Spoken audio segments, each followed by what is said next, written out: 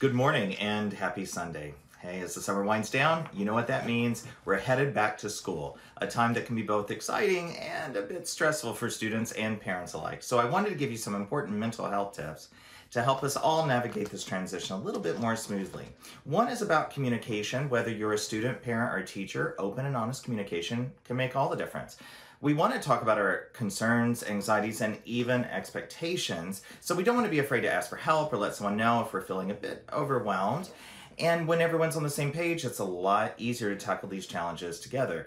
I also want to reach out to the parents. It's way more effective if you ask, What happened in your day to your child, as opposed to, How was school today?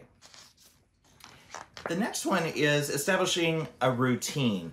Uh, consistency is the most powerful tool for managing any kind of stress. So, a regular schedule provides a sense of stability and helps your body and mind adjust to new demands. So, you can start with simple things like consistent bedtime or designated study times or even regular meal times. A solid routine can create a calming rhythm in your daily life.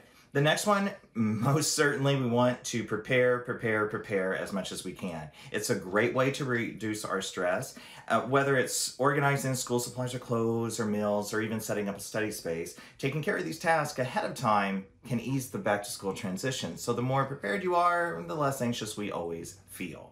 The other thing has to do a lot with COVID, even more now than ever. Encourage in-person social interactions. And so it's crucial to reconnect with friends and classmates, and in-person interactions can help you build strong relationships which are essential for emotional support and mental well-being. We want to encourage our students to join clubs, participate in group activities, even spend time with friends outside of school. Remember, less of this and more interaction. Let's talk about stress. It's a natural part of our life. Not all stress is bad, especially during transitions like going back to school. So instead of avoiding the stressful situations, try leaning into them. Find ways to identify what's causing your stress and face it head on. Just so you know, every behavioral tool for anxiety that's out there today is all about exposure to the identified stressor. So run towards, not away from the stress. Actually, when we run away from the stress, it increases the stress and makes it tons worse. But if the stress becomes overwhelming, stop. Maybe take a step back and breathe. If that doesn't work, don't hesitate to seek support from your teachers, counselors, or other mental health professionals. And confronting these issues directly can motivate you to improve and adapt, and most importantly, lead to growth and resilience.